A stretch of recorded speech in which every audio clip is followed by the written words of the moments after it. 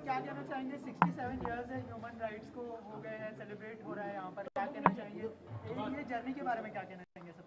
इस जर्नी के बारे में मुझे ना दो दो शब्दों में कहूँगा मैं एक सबसे इम्पोर्टेंट चीज़ ये बहुत बहुत सिंपल लाइन है कि अगर ज़िंदगी को साफ़ सुथरी जीनी है तो हम ना तू तू मैं मैं में पढ़े। दो शब्द ये है कि बस प्यार लो और प्यार दो। इसमें ज़िंदगी हम सबकी बहुत खुशहाल से गुजर सकती है।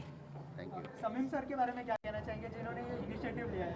सर शमीम सर का सबसे सबसे बड़ा क्रेडिट इनको इसलिए जाता है क्योंकि आज हमारे यहाँ जो कंडीशन चल रही है उस ये गलत फहमी अगर कोई इंसान आगे बढ़ के दूर कर रहा है तो यूँ समझ लीजिए कि ऊपर वाले ने एक फरिश्ते के रूप में शमीम भाई को भेजा है और मैं अल्लाह ताला से दुआ करूँगा, भगवान से भी दुआ करूँगा, जीसस से भी दुआ करूँगा और यही कहूँगा कि हर मज़हब में एक शमीम भाई जैसा इंसान, एक फरिश्ता पैदा हो ताकि हम लोग सब बस वही वही वाली बात है बस एक दूसरे को प्यार दे और प्यार ले बस। प्यार से जिए बस ज़िंदगी को।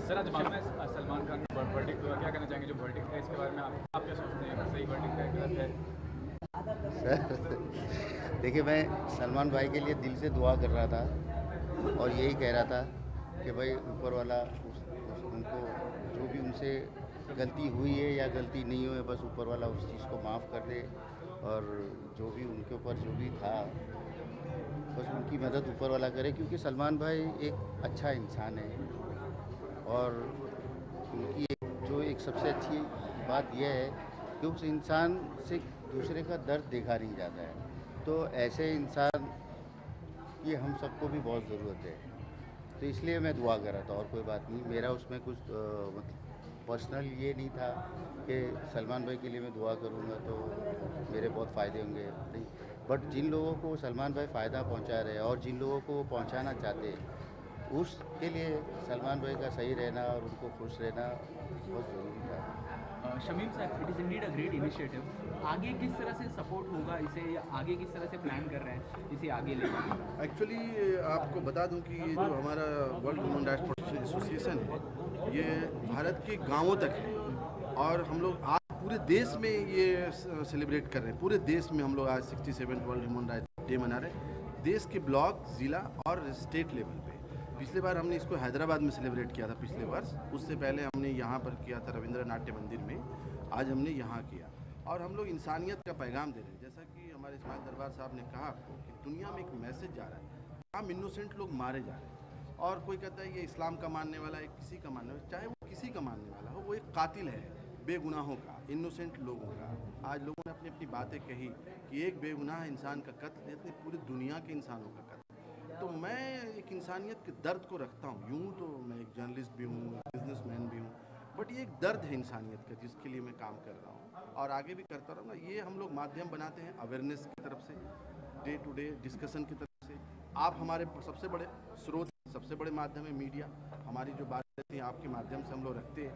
आज रखे आप दिखाएँगे तो एक मैसेज जाएगा आगे आएँगे। हम लोग चाहते हैं कि जो भारत एक आस्था का जहाँ माँ की आंचलों के नीचे प्यार है, माँ के कदमों के नीचे स्वर्ग है और हम माँ की दुआओं के लेते हुए जब बम्बई दिल्ली आते हैं तो हम एक कामयाब बेटे बनते भारत देश के। तो ये हमारा देश दुनिया से अलग देश है। मैं ये चाहता हूँ जो दुनिया इस वक्त हो रहा कम से कम हमारे देश में ना हो। इसलिए मेरी एक कोशिश थी कि हिंदू, मुस्लिम, सिख, ईसाई, जैनी बौद्धिस्ट सब मंच पर बैठे और एक अच्छी बात करें, उसमें सिनेमा जगत के लोग हों, क्योंकि ये बड़े लोग होते हैं, इनको लोग जानते हैं, इनके फैंस होते हैं, इनके आमद से एक पैगाम है। आपने देखा होगा, यहाँ मोस्ट प्रोबली हमने लीडर्स नहीं बुलाए जाते। हमने यहाँ पर एम्बेसडर्स बुलाए। इसका मतलब ये हुआ कि वो सारे देश हमारे इस थॉट्स के साथ हैं, जो हमारे मानवता पे हम लोगों का वर्क है। तो इसके लिए उसको सपोर्ट करने के लिए बोस्निया के एम्बेसडर जहाँ एक ज़माने में बहुत वायलेंस हुआ राइट्स ताइवान के डिप्टी एम्बेसडर गाम्बिया के एम्बेसडर कौंसल जनरल ऑफ़ अब कई देशों के यहाँ पर आए और उन्होंने मकसद है मानवता को कैसे बचाया जाए। इनोसेंट लोगों का खून ना हो। सिविलियंस नहीं मारे जाएँ, पूरी दुनिया। चाहे वो कोई भी कास्ट के लोग, हमारा सबसे पहला कास्ट इंसानियत का है। और हम इंसान पहले, बाद में किसी धर्म, समूह और समाज के तो हमारी इंसानियत का कत्ल ना हो, ये सोच है और इसका दर्द है मुझे इसके लिए मैं ये अगर आपको एक कोई ऐसा गाना डेडिकेट करना हो आपने बहुत सारी फ़िल्मों में संगीत दिया है, लेकिन ऐसा कोई एक खास गाना जो आप डेडिकेट करना चाहें और हमें अगर दो लाइनें अगर सुना दे आपको ये ऐसा कोई खास गाना देखिए मेरा मेरा ही गाना सुनाता हूँ है ना? मैं इसलिए सुनाता हूँ कि ये ये हम सबकी आवाज़ है मेरे अकेले की नहीं है। तो मेरा टाइटल सॉन्ग है फ़िल्म हम दिल दे चुके सनम का। हम दिल दे चुके सनम तेरे